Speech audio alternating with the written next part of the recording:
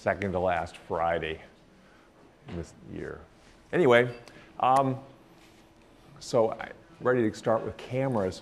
Just to remind you of all the, the, the light stuff, sort of summarize it. That, you know, starting with sunlight, this is sort of the simplest way to make light with just a hot surface, the sun. Uh, alternatively, a piece of hot tungsten and an old-fashioned incandescent lamp. It, both of them make uh, a, a, what's called a black body spectrum. Uh, for, in the sun's case, that black body spectrum is, is really sort of the definition of white. Uh, in the case of a hot piece of tungsten, it's, it's white, but it's not, because it's got a broad spectrum of colors, but, but it's not the white of the sun. It's, it's missing a lot of blue. Not, it's not hot enough. What else? We, then I went through all the, the ways in which light interacts with matter, sort of the, the principal ways in which it interacts with matter. And we'll see these coming up again. Uh, I guess I should say with cameras, cameras is the first of, of, of a couple of topics. We're going to run out of time pretty, pretty fast. But we're going to go through, um, that is for the, in semester, a couple of topics that, that use light and, and the various tools that we've seen, uh, the, the, ways in which light interacts with matter. We're going to use those as, as tools to, to get things done, like to take photographs. So, so anyway, so back to sunlight, simplest form of light. Fluorescent or discharge lamps now you're kind of you're building light a little more strategically. It involves using atoms uh, to, to, to emit the light. Instead of getting them hot, hit them with, with projectiles, charged particles that you push with electrically, and cause them to fluoresce, to emit, in this case, to emit light associated with their atomic structure, their, the way the electrons reside in these standing waves in the, in the atom.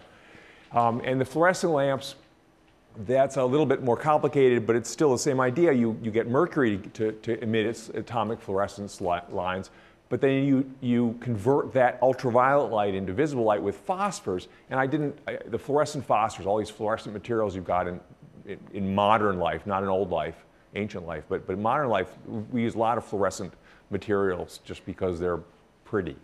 Um, they, they take in photons go to excited states. So there's still, there's still atomic or atomic-like systems that, that have energy, uh, that have electrons in orbitals or, or more broadly, uh, things like molecular orbitals or even levels in solids. And finally, they, they take in the energy, they squander some of it typically, and then they send out new photons that are, that are shifted in energy down to, to lower energy and therefore coming out of the ultraviolet into the visible, maybe the blue end, and maybe out of the blue end down further towards red. So that's another way to craft light.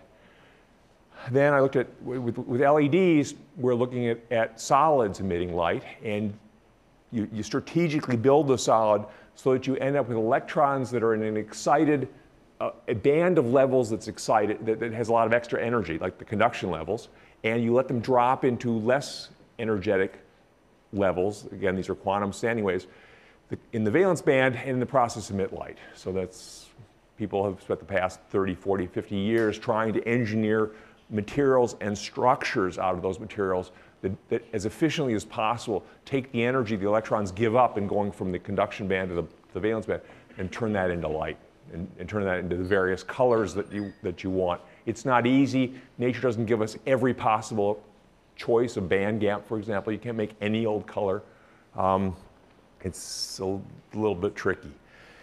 Uh, and then lasers, the laser, the, the, concept of the laser was that if you use a, a material that can amplify light, and uh, in this case, it's these, the, again, these, are, these are still quantum systems. You're still using radiative transitions, whether they're in atoms or whether they're in solids. You got the, the same story, but now instead of having them emit light spontaneously, so each photon's a one-off and independent, you have them emit light in the process of amplifying an existing photon.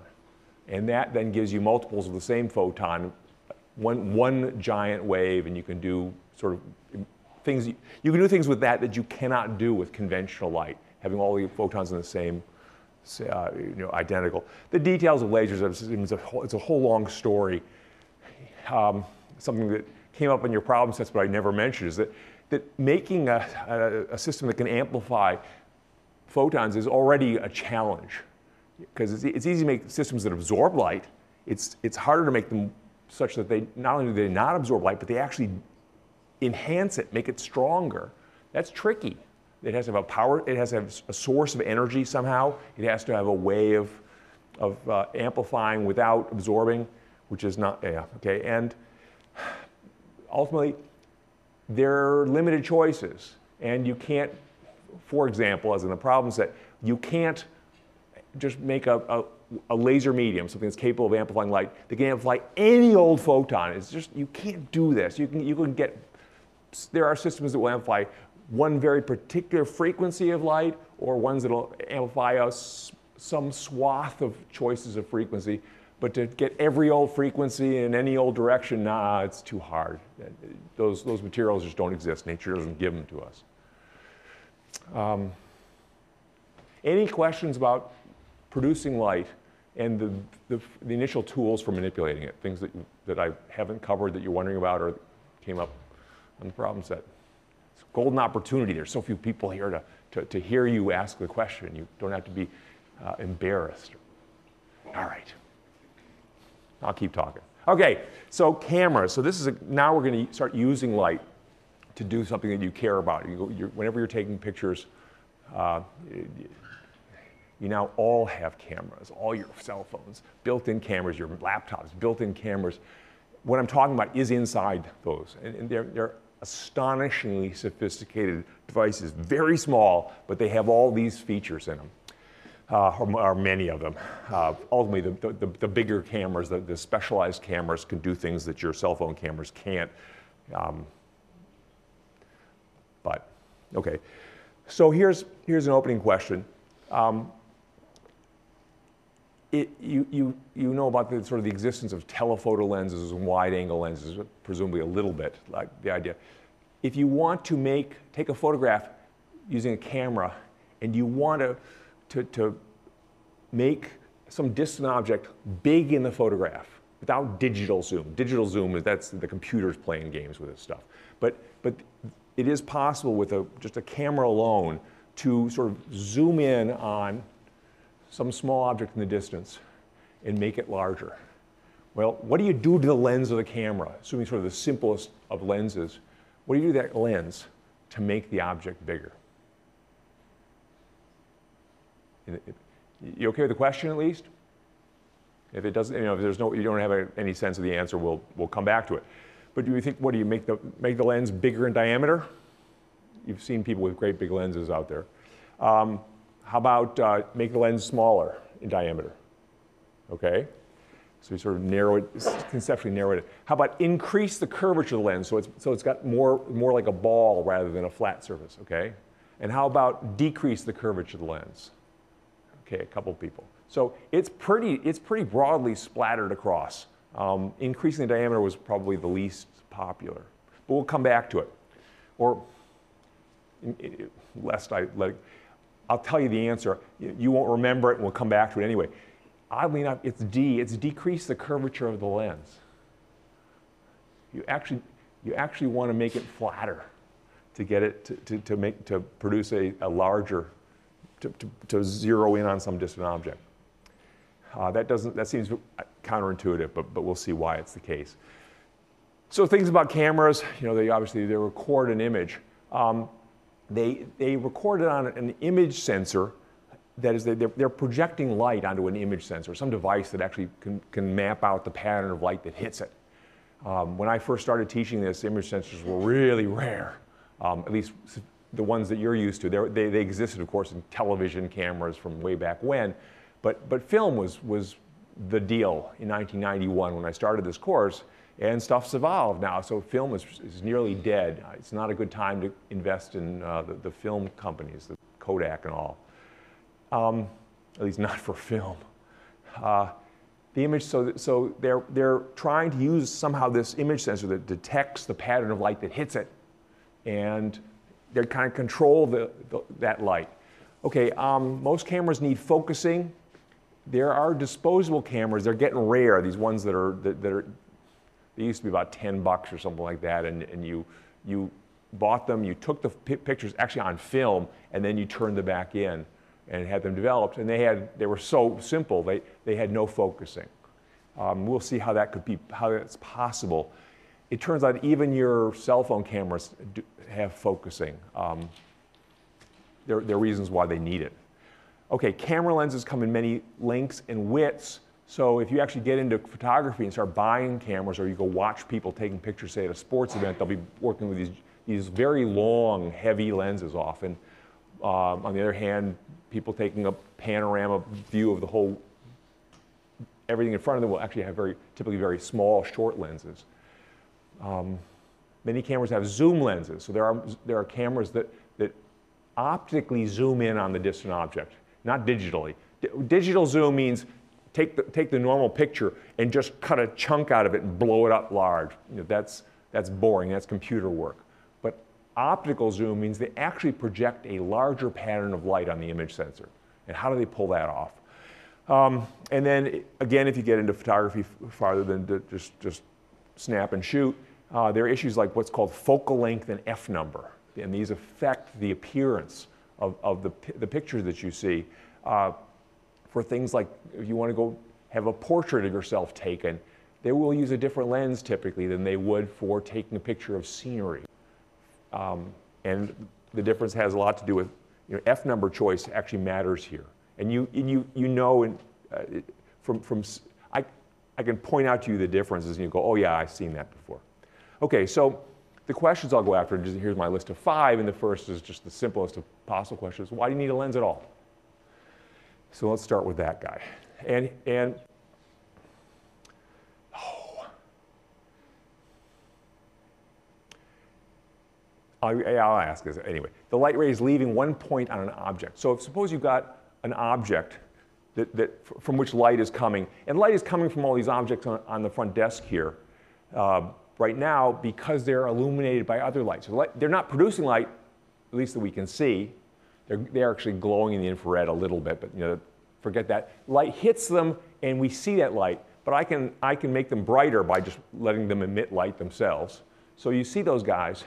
And if we think about the light from one point on this long hot filament, that's a, just a, a weird incandescent light bulb, the light from that point is spreading out in all directions. So, so some of it you know, comes towards me, some of it goes towards you, every which way if you want to take the light leaving that one point and bring it together and, and project it on one point on a screen or on an image sensor, um, so, that, so the image sensor says, at that location on that bulb I'm looking at, there's, it's bright. What can, you, what can you use to get the light to do that? To, the light leaving, diverging away from that point, heading in all directions, bring it back together, at least some of it at least, and, and project it right on that spot. So how many think you can use interference to do this? How about dispersion to do this? How about refraction to do this? Yeah.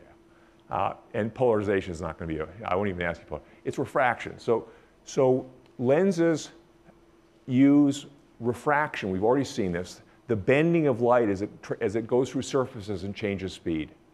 There are, I should say, and I used to teach about this film, there are lenses that use reflection to do it, mirrors.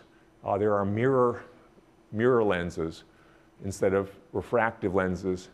They're particularly useful when the, for extreme telephoto lenses um, and telescopes. Most telescopes are, are, mirror, are basically mirror lenses. They're just gigantic mirror lenses. Um, I can talk about mirror lenses if you care about it, but, but I'm going to focus on refractive lenses, which is the ones that are most common. So, you know, in addressing this question, why does a camera need a lens? That if you look at the light that comes off of one surface, one, one object, and let me, for the moment, let me just turn on that, that tall, thin lamp and turn off the others. Oops, of course, that's the one I don't want to turn off. I'll turn off the other guys. So just that lamp. And if I use no lens. I'll start with no lens here. The light from the top portion of that hot object, like the light from my little candle flame here, goes in all directions. I've only, in, the, in my drawing, I've only shown you a few directions that light can go. Of course, it goes in every which way. And some of it hits the screen. And if we look at the light pattern on the screen, I mean, I can look at it like this, because it's a semi-transparent ground screen, we can look at it from the back also. So let me look at the back. And to do that, west, which I'll put it up here, up there. Okay, so you're now looking at the screen. And not surprisingly, there, it, it you know, it, it is actually seeing the light from that, from that uh, you, the glow, most of the glow you're seeing there originated in that light bulb filament. But you can't tell by looking at this screen. Uh, there's, a, there's a slight, slight ability to see that it's coming from, a, from, from that filament. But for the most part, it just looks like just, light, just a splash of light across that entire screen. No structure to it. It's not a photograph you would be pretty disappointed if that was, you know, the whole family out there smiling happily and it's just a blur. So um, without a lens, you get no structure to the, the pattern of light that hits the, the film or image sensor. Um, the camera is struggling here, trying to find something to focus on because there's just sort of, it's, it's all a big swash of nothing. It occasionally manages to figure out that there's a, a, a ground glass screen in front of it that it can find a little bit of structure in. All right? If you put a lens in there, though, surprise, and I got to focus. You know, this, is, this is focusing here, right? Turns out I have, to, I have to focus. I have to find the right distance between the lens and the image sensor, and voila, I get an image. And, and, and some details about this. First off, it's a real, it's what's called a real image, meaning that I can put my hand in it. I can touch it.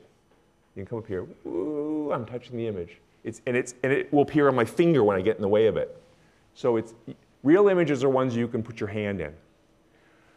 Uh, you might think, well, what's the alternative? There are such, such things as virtual images. The virtual image is something you see with a magnifying glass. You can't, it's there, you see it, but you can't touch it. There's no place, there's no place where that pattern of light sort of exists in space where your hand can go. Uh, I can talk about that later on. But so this is a real image that's formed, and it means that, that every that any light that left the tip of this of this bulb where my finger is touching, that light that, that light most of it went everywhere which way in the room, but a little bit of it went through a lens that's up here. The lens is about that big in diameter, so we're, we're talking about gathering a tiny fraction of the light.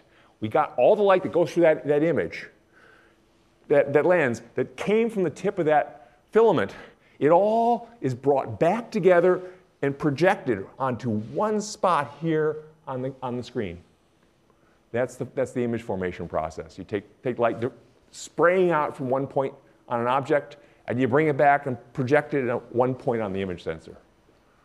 And other points on the object, their light sprays out, goes through the lens, and comes back to one point, a different point on the image sensor, and so on. You okay with that, that idea? So how does it manage to pull this trick off? So now I can look, we'll look at, I've got a board down here with a bunch of little laser beams, just as, as light sources. Ah, document camera on the side. Yes, you're now looking down at a board with these with little laser beams. Actually, let me take out the lens initially. So no lens. So they're the little laser beams. They look kind of surreal for some reason on that screen, but they're, they're real. I mean, I, am touching them and whatnot. And if you put a lens, if I, if I put, do I have a, just a block? If I put just a block in the way, you know, we, we, we see things we've seen before. The light bends toward the perpendicular uh, when it slows down going into the block of plastic. So that's, that's here. It bends toward the perpendicular. And then as it leaves, it bends away from the perpendicular.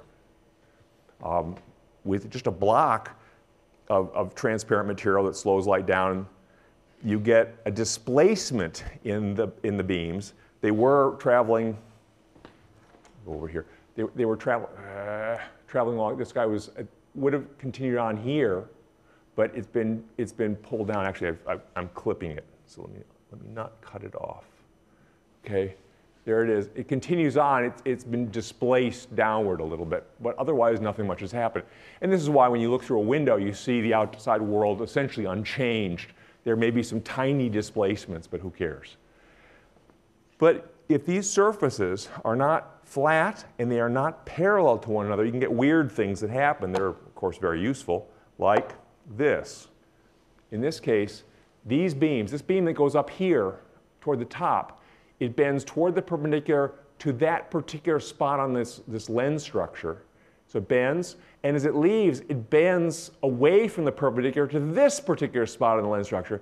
And it turns out those two bends um, are in the same direction.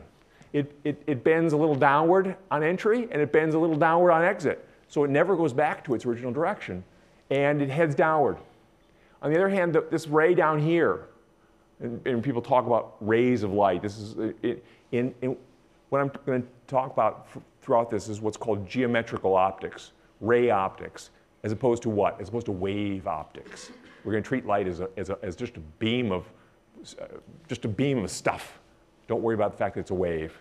Wave optics is a whole other story, and it's mostly important with lasers, but it's not, it's not so useful to, to we will encounter it, but, but we, it's not useful for cameras, or important for cameras. So this ray down here bends up on entry, because the, cause the, the surface is not the same. It's tilted differently than the surface at the top of the lens. So it bends up and it bends up again. So this ray is, is forever bent upward.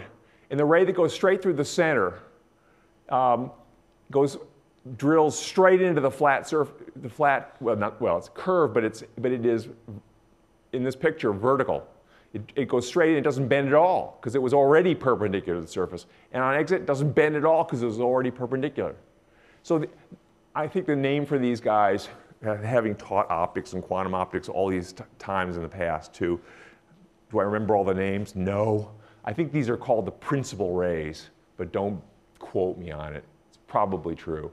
Uh, these three rays, one down low, bending up, one down, up high, bending down, and this one through the middle, going straight without any deviation. You can think of those are the, those are the principal rays, and in fact, they tell you sort of everything you need to know. They meet up. Having been bent toward each other, uh, sooner or later, they're going to come together. Uh, what's not certain is do they come together all at once, or does do, the, do, do one pair come together first and the other ones later? Now, ooh, they all come back. They all come together at once. What a what a what a nice uh, coincidence. It's not perfect. They're pretty close to together at once. But this is, the, this is a very simple lens structure. Uh, it's made with surfaces that, in this case, they're cut right out of a cylinder. That is, that is imagine a cylinder that's about that big and just cut off, a, cut off the front face. And then take the, the, the back face that was over here on the wall, slice it up, and glue the two of them together. These are both pieces of the cylinder. In, in, it's a two-dimensional story. In a, in a real lens, a three-dimensional version, this lens, this is a three-dimensional one now, um, this is cut from a sphere. So this would be, this, imagine the, a really big crystal ball, and you slice off just, the, just that edge on that side. And, and on the other one, you slice off just that edge and glue them together. You end up with this structure. And this is, this is uh, the three-dimensional version, the more useful version of that. So having done that then, having created this, this is a cylindrical lens, that's a spherical lens it's called, the, the rays do come together at almost one point together. It's not quite perfect. The failure, the failure of perfection is one of many uh, uh, shortcomings of, of overly simple lenses. So better lenses, typically groups of lenses working together as a team can fix some of these minor problems and get you a better result. But the point here is that you, the rays coming from one direction all meet at one point. If they were coming differently, how, can I, can I, can I well, that's good enough. So that's what's happening here. Let me just leave that. And we'll look back at, at uh, that, that camera that's over there looking at the ground glass screen and, and obtaining, therefore, an image of uh, the, the light bulb filament, it's taking all the rays that come off the top tip of that light bulb filament, every one of them that goes through this lens, which is, it is a three-dimensional structure. It's not a, it's not a cylinder, it's, a, it's part of a sphere. and is bending them all together and putting them all, they meet up right there. And the reason I had to focus is you saw they only meet at one, at one location. Uh, let me go back to this. Um, I don't really mean to be obnoxious going back and forth. Look, if you look, it, we're now, come on, what did I do? Too many buttons. Side. There. Oh! I can't. Ah, can't walk and chew gum at the same time. There we go.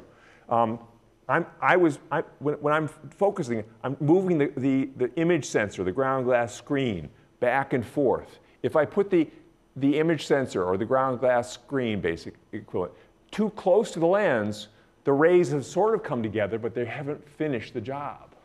And, and I get they, the light, all the light from one spot on the object hasn't met up yet. If I put it too far away from the lens, they've come apart already. That okay? So this is what, so this, that, this is a, a way of looking at the focusing problem. And now if I go back to this, yeah, God, don't want to be a camera operator. Um, if I put the ground glass screen, and instead of moving the ground glass screen, I'm going to move the lens. But it's the, it's the distance between the two that matters. But if I put the lens too close to the screen, the rays haven't come together yet. So they're coming together too late, after the screen's already gone. If I, if I put the lens too far away from the screen, same problem. This, incidentally, everything I'm saying here about lenses and cameras is true of your eyes as well. So if the rays, because your, eyes basically got a lens in it, uh, it, it, just to point out, it's not just the, a lens. You, you know, there's a little lens-like structure inside your eye. There's also the front surface of the eyeball, the cornea. The cornea is actually part of the focusing problem, process.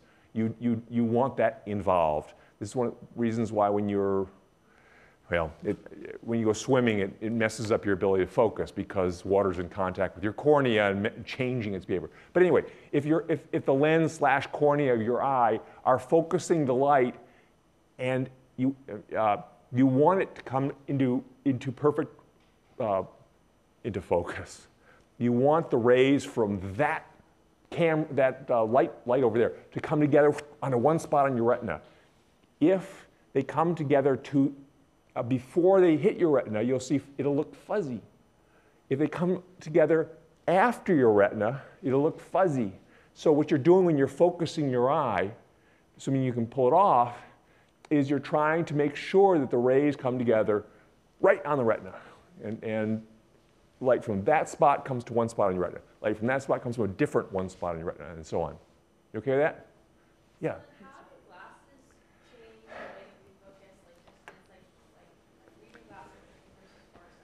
Great, great question.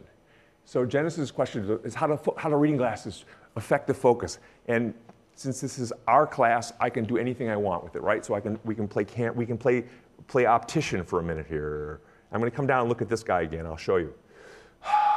If I can remember. Okay. Yeah, okay. So suppose your retina, here's, here, if your retina is right there, and the lens is like that, everything came together just the right moment. Great, you see a sharp image. But what happens if, for some reason, your retina's here? Oh no, the light didn't come together on your retina. How are you going to fix that? Well, if you, this is light, these light beams are actually, they're, they're, they're all traveling the same direction. They're, that's the kind of light that, that originates from a very distant object, like the moon. Light from the moon is coming along any light that manages to get to your head has traveled almost exactly the same path, whether it hits the top of your head or the bottom of your head, because it started over there on some lunar crater, I don't know. It, it's, the, the rays are amazingly parallel to one another. So this is, this is light as though it originated from way, way far away. Can, can you follow that idea? If it originated in a candle, the rays that hit your head, this one will be hitting up, this one will be hitting down, they're, they're, they're fanning out. So this is just a special case. It's one case of, of light. It's light from distant, a distant source, looks like this. And when it goes through this lens, it focuses too late on your retina. It looks fuzzy. You're looking at the moon, and the moon is fuzzy because the moon is coming into focus behind your retina. How do you fix this? put on some glasses. And let's try this. This looks like it's a, here's, here's some glasses. Helped a little bit. What I just added, this looks almost like a block. And that's why I'm picking it out very carefully. It's, this is a set I've never played with, so it's kind of fun. It's a little bit of an extra lens. It has a little bit of, it's a little curved on the front. This is called convex, meaning that it's, it's, it's bowed out in the middle like a barrel.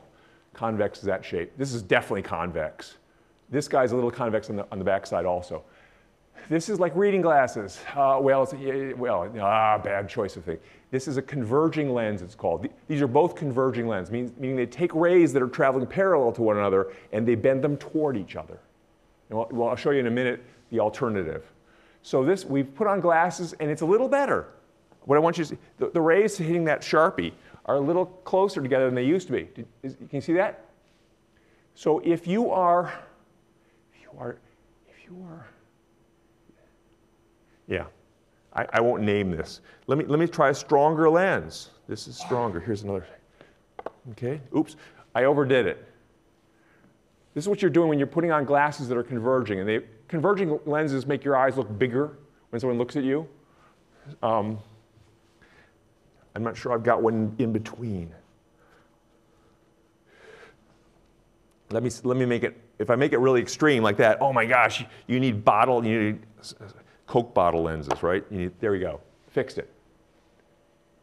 Okay, so if, if your retina is too close to the, len- to the lens uh, and you want to fix it, you put on thick converging lenses. Is that okay?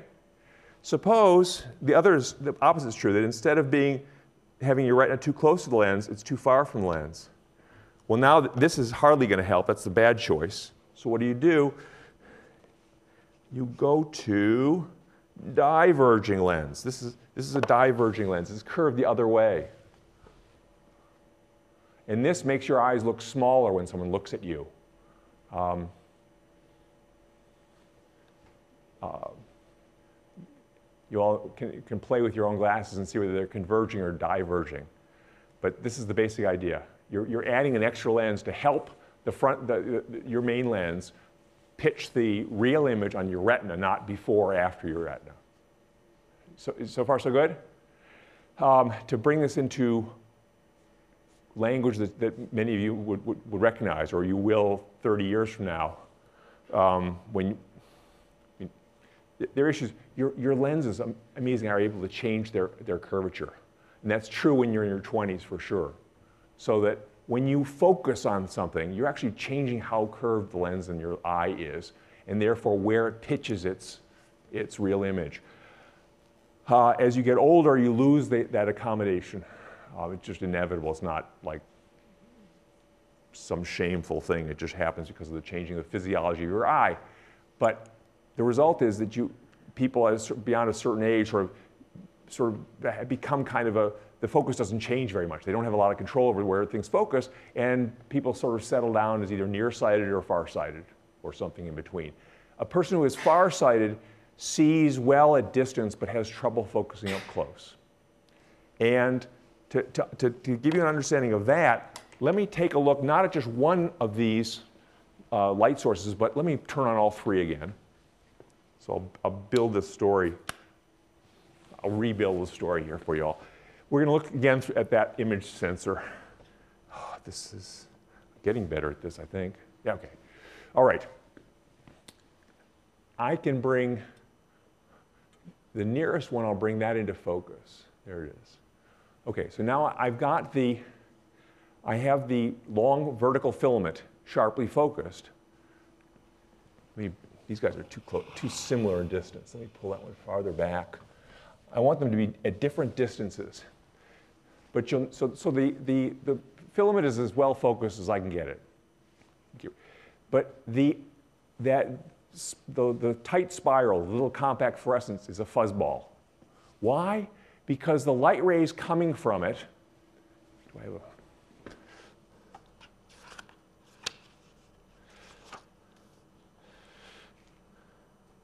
Hell, I don't have a good, good picture for you. The light rays coming from the, the more distant compact fluorescent um, are traveling more parallel to one another when they hit the lens than the light rays from the, more, the closer vertical filament. As a result, the lens is able to focus those, the light rays from the, from the distant source more easily than they can focus the light from the close source. Let me, let me play hand waving to show you the difference. If, well, I'll imagine the lens here. I'm, I'm doing, uh, you know, mind, mind theater. Okay, so there's a lens here. If, if, if the source of light, the object you're trying to focus on, is, is very close, the rays that hit it were spreading like crazy. They get through it. And it struggles to bend them back together. And they, it does bend them back together, but they don't, they don't actually come together until way over here. Okay? On the other hand, here's the, here's the lens again. Suppose this object that you care about is out, is out here, which is much farther, of course. The rays that manage to go through that lens, the ones that were diverging like crazy, they don't make it. It's only the ones that were almost traveling together that make it to the lens. And so they enter the lens already pretty close, traveling almost the same direction, and the lens bends them toward each other by sort of the same increment, and they meet up here. So the nearer the object is to the lens, the farther away the image forms. Up to a point where there's actually a point, uh, uh, when the object is too close to the lens, no image ever forms at all. And that's the minimum, minimum focus of your camera. You all have noticed with your camera that you can focus on, I don't know, you know, with your phone, you, you can focus to here, but try as you like, you can't focus when it's an inch away from the camera. The rays are diverging too much. The lens of the camera just simply, no matter what it does, it can't, get, it can't bring them together. Is that okay with everybody?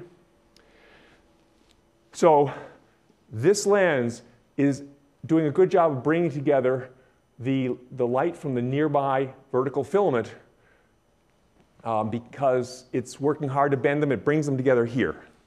The light from the more distant compact fluorescent is easier to bend together. It comes together too soon. It comes together about here before, the, it, before it gets to the, the screen, and, it, and, it's already come apart again by the time it gets to the screen. If I want to make that, that the, the compact fluorescent a sharper image, I need to move the screen and, and lens closer together because the, the lens is, is, is, it's, it's too easy for the lens to bring the rays together. They come together soon, nearer the lens. So if I move the lens toward the, the screen, it, it's, it's, it's, there, there it is. It's in, that's as good a focus as I'm going to get. Uh, and now you'll notice that the, the rays from the vertical filament are out of focus. The lens is not able to bring those rays together on the screen. They, they, they come together after the screen, beyond the screen.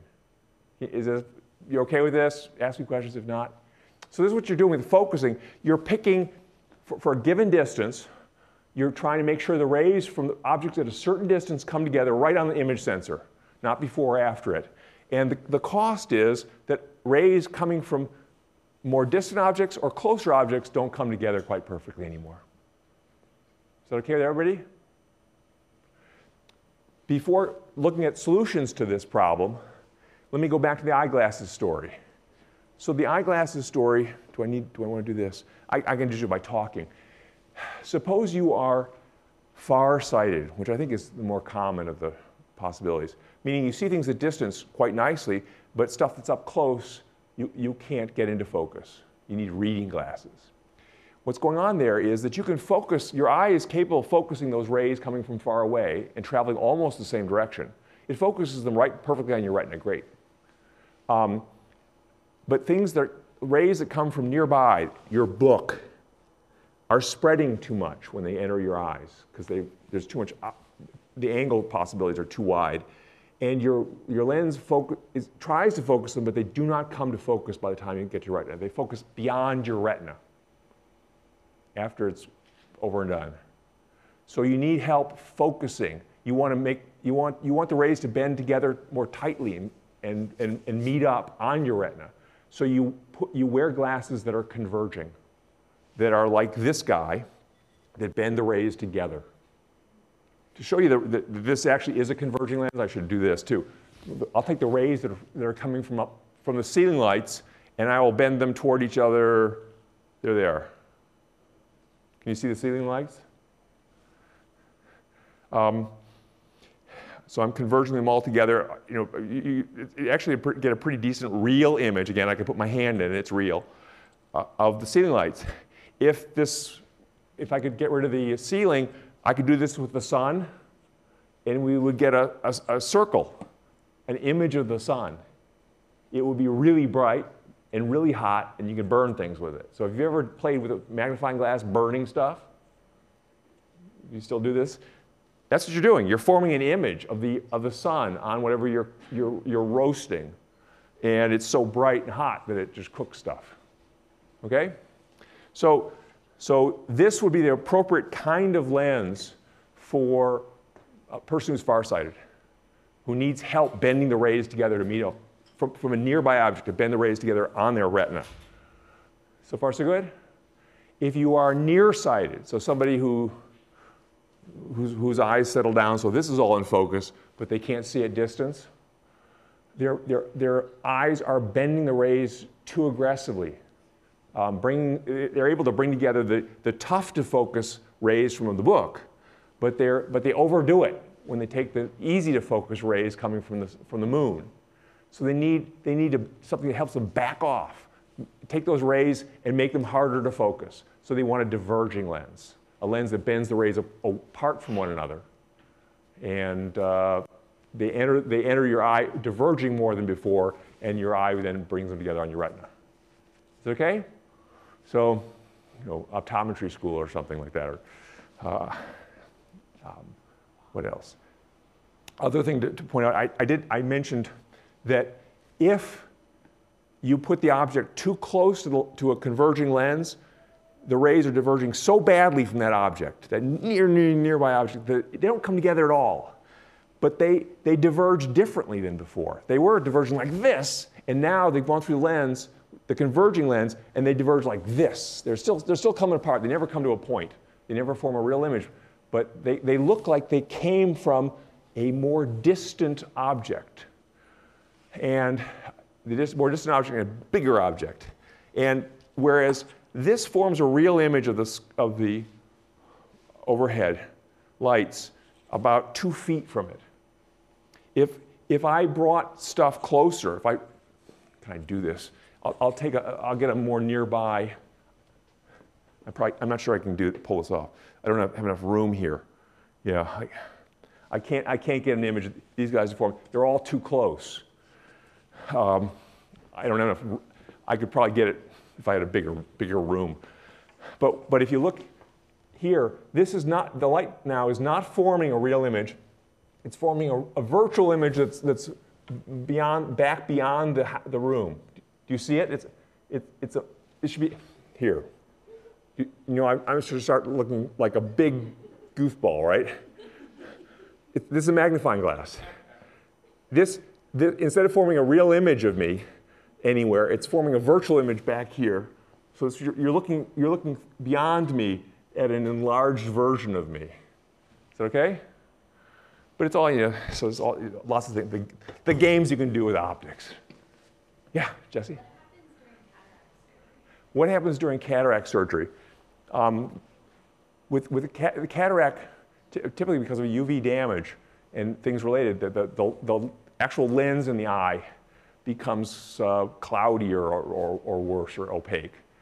So when you take out that, that lens, so they, they, they, they, take out the lens and they replace it with something that, that you know, a, a human-made conventional converging lens. So they're, they're putting in a lens like this, although probably a tiny bit smaller, and uh, typically flexible to get it in. They have to fold it and shove it in and it's trying to replace the natural lens.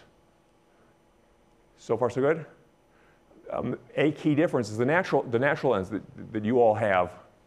Um, it's, it's like this, but there are muscles around the outside that can change the, the diameter, in effect. And as they change the diameter of, of, a, of a object, of, of a flexible object, it, uh, you can't just shrink it and have, have nothing happen. it, has got a fixed volume because it's, it's, it's, basically a, a, liquid solid thing. So if you try to squeeze a baggie of full of water or balloon full of water, if you try to make it thinner, it gets it, it swells in other directions. On the other hand, if you try to shrink its diameter, it swells. Anyway, the same thing happens with, with the lenses in your eye. As you change the diameter of the physical lens, you, you change its curvature.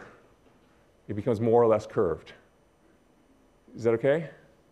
And so that's how you focus. That's how, that's how you adjust. Um, instead of moving the distance between the, the lens and your retina, which is tough, you change the curvature of the lens. And that was the, the opening question I asked you. How do you make, you know, changing the curvature of the lens changes how the image forms. So that's what you're doing. You're playing with the curvature lens. I, and I can show you that actually. This is a, a weakly curved lens here. And it forms, the images you're seeing right now, they're pretty big. If I use a less curved lens, that's a more highly curved lens. Here's a more highly curved lens. If I put it at the same location, fuzzball. But I, I have to move it much closer. Here's where it, it's in here. I got to move it up. And I'm out of room. There, the, the images are here.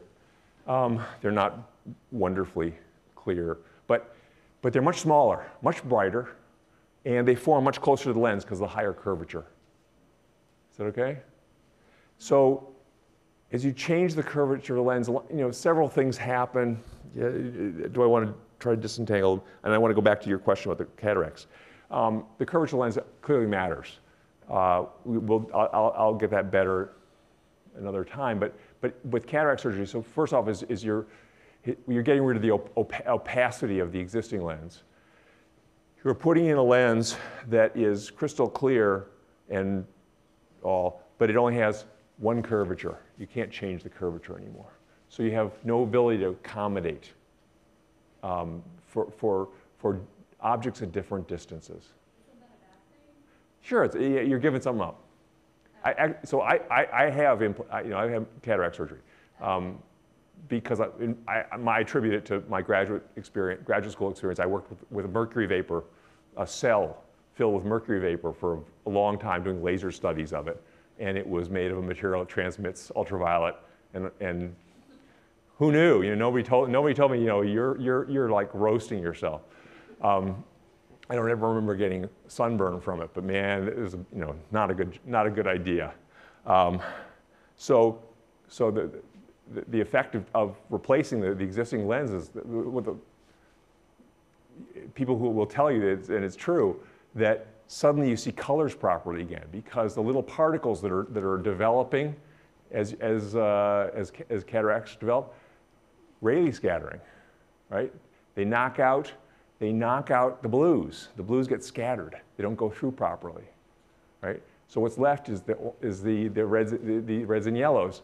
So um, the colors, the colors, the biggest effect, apart from just not being able to focus getting a sharp image the way you want, is you lose the colors. And so the colors come back. You suddenly take out the, the Rayleigh scattering in particular, it's back to full color. Hey, this is great. Okay? You lose the, fix, you lose the focus. But in mo the modern era, eyeglasses are, are so good that, that they make eyeglasses that have different curvatures at different places in the eyeglasses, like these guys. these eyeglasses, they see, I can see distance clear as a tack uh, with the top of the glasses and up close perfectly with uh, the bottom of the glasses. So it's, you know, it's, it, it's good. Other questions? What else would I want to tell you before we, before we leave here? Um, ah, here, here's, a, here's something worth, worth, worth saying. Let me go back to the longer lens. I, I hope it's somewhat convincing that, that and I can make it more extreme. If I bring these guys to really different distances, you'll, you'll see you only get one in focus at a time, right? Because this, if I get the, the filament, the vertical filament in focus, the compact fluorescent is a, just a fuzzball. If I get the compact fluorescent in focus, the filament's a fuzzball. Is everybody okay with that? In part, that's because we're taking all the rays that hit that entire lens and trying to bring them together. And if we're off by even a small amount, we're, uh, they're not together and they, they come out all fuzzy, right? So, so, he, so like this. If, if the, if the candle's at just the right distance to hit the image sensor, it's sharp. But if the candle or the image sensor are not at the right location relative to the, the lens, they're, they're fuzzy. But if we only use the rays very close to the center of the lens, they're, they're already so close together most of the trip that they're pretty sharp anyway. So what you can do is you can use an aperture. This is, a, this is an aperture like from a fancy lens. You can, you, can you see it getting bigger, smaller? It's a whole bunch of leaves that, that, that bend in strategically so they make a hole. It's, it's, you know, it's a centimeter now. It's a tiny, it's almost a pinhole now. Now it's wide open. If I put that in front of the lens, like this, and, and I force the lens to use only rays very near its middle, that's my goal. Right now I haven't shrunk the, lens, the aperture. Here, now I'm going to shrink the aperture. When I do that, I get less light. That's a, that's a, a, that's a cost. But everything's in focus, in sharp, in fact, in sharp focus. Um, because I'm only using those central rays, which are already very close together, and whether they're perfectly meeting up or almost meeting up, we're good. And this is why when it's very bright and your, the pupil of your eye is tiny, everything's in focus anyway. So, so, so if you have any focus problems at all, in a bright environment, you can, you can still get, you can read easily, you can see distance easily, everything's in focus. And furthermore, this is why people squint. They shrink the aperture, the effective aperture of their eyes. It's called an aperture. Uh, you shrink, if you shrink the aperture of your eye or you look through a pinhole, which you can make with your fingers, everything's sharp and focused because you're only using those central rays. And the, the exact perfection of the lens and all that doesn't matter. Okay? Have a good weekend and see you on Monday.